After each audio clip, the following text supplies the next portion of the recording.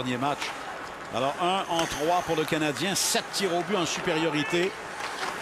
Et là, un bel arrêt, filet ouvert et le but! André Markov, qui si souvent, avant ses blessures, Marc, avait ce don de s'isoler à la gauche, euh, enfin, à sa gauche en perspective offensive. Et c'est 2 à 0. Est-ce qu'il peut devenir une menace s'il regagne confiance? Regardez avec quelle facilité il récupère la rondelle du patin droit pour l'envoyer directement sur son coup droit. Battre Mihail Neuvert, lui, hors de position, incapable de pousser à temps. Il bat Jay Beagle également de vitesse en récupération de rondelle. Cette anticipation de la part de Markov le sert bien. Et la récupération de cette rondelle du patin